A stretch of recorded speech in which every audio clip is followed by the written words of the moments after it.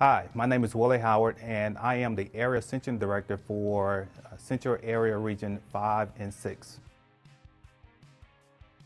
Before becoming an Area Extension Director, I started out as a summer intern with the Whitley County Extension Office working under David Perry, who was a 4-H uh, agent at that time. After graduating from college, I got a, um, a, a job offer uh, to work as a 4-H agent in Fulton County, Kentucky.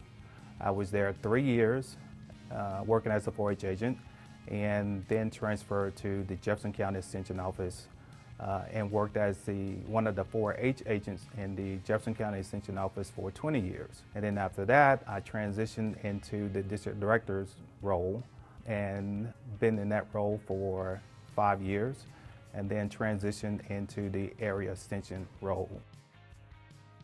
What I like most about being an area extension director in the Jefferson County area is that um, this is where I have most of my history of working with the extension program and people in Jefferson County, uh, which is really, really great uh, to continue that work with them. Uh, have an opportunity to work with um, the surrounding counties in Jefferson County, get to know great people um, who are in those counties and helping uh, the extension office or just being supportive to the extension mission uh, in those counties.